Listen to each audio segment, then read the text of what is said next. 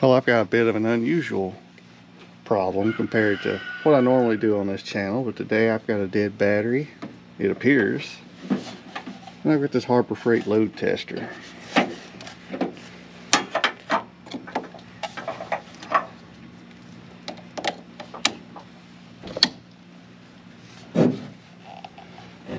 Now up on that needle right now it says it's good. About 12 and a half volts. As soon as I put the test on it, it's down in the uh, bad section.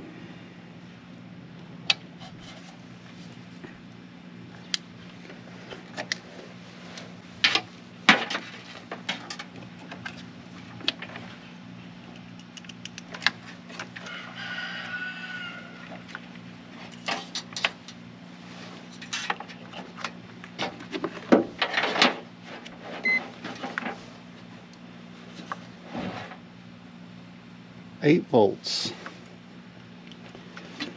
Ah, 12. Bad connection. Well, a lot of times people test their battery with a voltmeter. They'll see 12 volts. They think it's okay. When you go to start it, it's going to drop. We'll see what it drops to.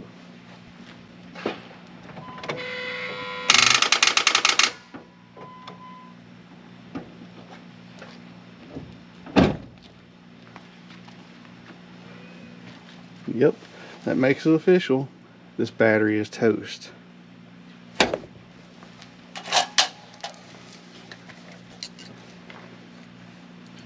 Now, I like this tool and the meter. I'm able to see that it's a battery problem and not an alternator. So this thing helps save money.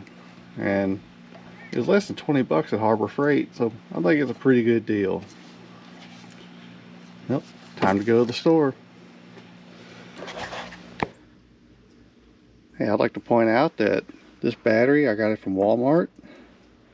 And it was made June 2013.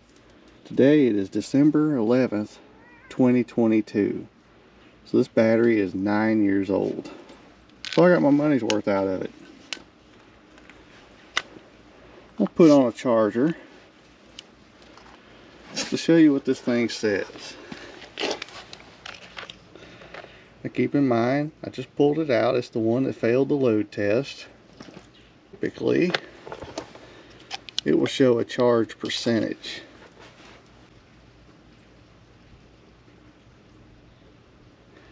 Ninety-two percent charge. Now, if that's you only had the charger, you would think this battery is okay. It's just a little weak.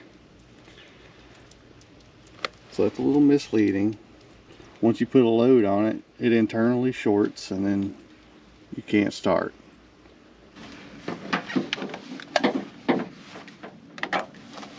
I'm back with a brand new battery. It's time to see how this one does the load test. So far I've got over 13 volts. Test on.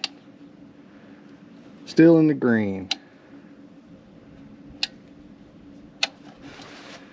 That'll work. Well, it's all back together. It's time to test this one out.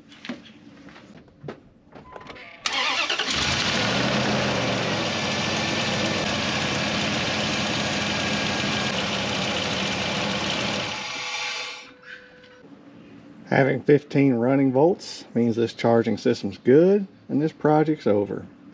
Hey, thanks for watching everyone.